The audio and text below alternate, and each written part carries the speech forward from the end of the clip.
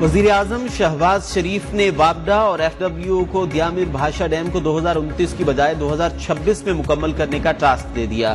دیامیر بھاشا dam site پر منعقدہ تقریب سے خطاب میں کہا، جب سے منصب سنبھالا، دن رات مختلف وزارتوں پر بریفنگ لی ہے۔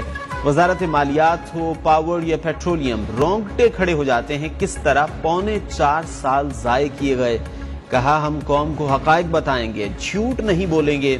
دیامیر بھاشا ڈیم کے پاس ایک بڑے ہسپتال کے قیام کے لیے ایک ہفتے میں تجاویز طلب کر لی۔ وزیر اعظم نے چینی انجینئرز اور ورکرز سے بھی خطاب کیا۔ دیامیر بھاشا ڈیم منصوبے سے آب پاشی کے لیے پانی کی فراہمی اور بجلی کی پیداوار میں اضافہ ہوگا۔ فوڈ سیکیورٹی میں بہتری آئے گی۔ سولہ ہزار سے زائد ملازمتیں پیدا ہوں گی۔ Chairman وابڈا lieutenant general retired Muzammil Hussain کی وزیر اعظم کو بریفنگ۔ وزیر اعظم نے سوال کیا کیا ڈیم کی تعمیراتی مدت میں کمی لائی جا سکتی ہے؟ چیئرمین وابڈا نے بتایا کہ ڈیم کی تکمیل دو ہزار انتیس تک مکمل ہو سکے گی۔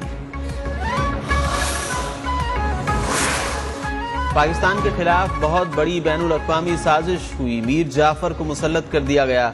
قوم مجھے پینتالیس سال سے جانتی ہے، میں نے کبھی قانون نہیں توڑا۔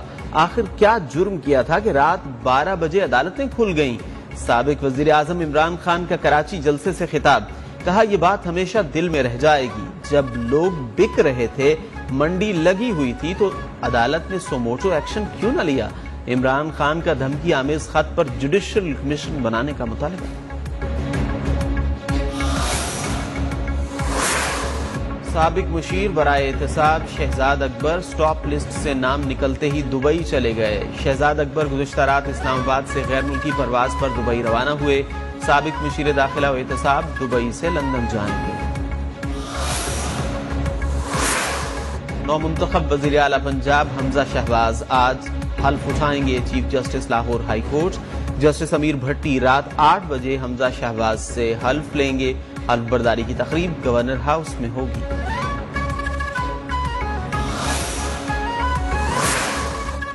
مسلم لیگ نون کے رہنماؤں کی حکومت پر چڑھائی۔ رانا مشہور کہتے ہیں، پرویز الہی اپنے ذاتی ہنڈے لے کر آئے ہوئے تھے۔ پنجاب اسمبلی کی فوٹیج نکال لی۔ کارروائی کریں گے۔ تارٹ بولے، ڈبڈی سپیکر پر بہیمانہ تشدد کیا گیا۔ تشدد کے بعد آپ کا چہرہ متکبرانہ ہے۔ تھمز اپ کرتے رہے۔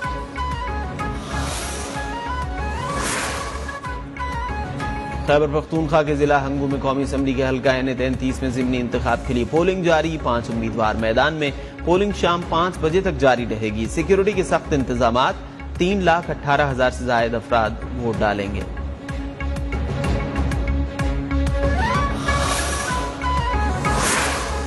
ٹی پی سرحد پار سے سیکیورٹی فورسز پر حملے کر رہی ہے۔ چودہ اپریل کو جنوبی وزیرستان میں سات فوجی جوان شہید ہوئے۔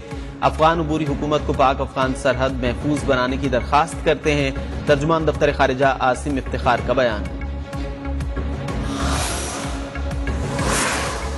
مہنگائی نے عوام کا جینا دو بھر کر دیا۔ لاہور میں بھی مہنگائی میں کمی نہ آ سکی۔ اشیاء خورنوش کی قیمتیں آسمان سے باتیں کرنے لگی ملتان، کوئٹہ، پشاور سمیت ملک بھر میں پھل، سبزیاں اور اشیاء صرف کی قیمتیں قابو سے باہر۔ کراچی کے بچت بازاروں میں سبزیوں کی قیمتوں میں کمی رپورٹ۔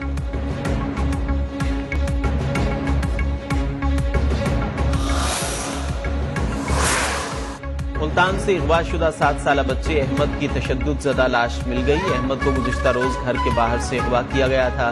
پولیس کے مطابق لاش پر تشدد کے نشانات ہیں۔ ہڈیاں بھی ٹوٹی ہوئی ہیں۔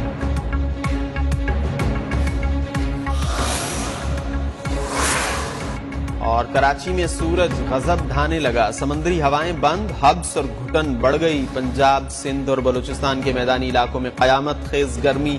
شہید بے نظیر آباد چھیالیس لاڑکانہ پڈیدن اور سٹرنڈ میں درجہ حرارت پینتالیس ڈگری سینٹی گریڈ تک جا پہنچا۔ محکمہ موسمیات کی آج سے پنجاب اور خیبر پختونخوا کے مختلف شہروں میں تیز آندھی کے ساتھ بارش کی پیشگوئی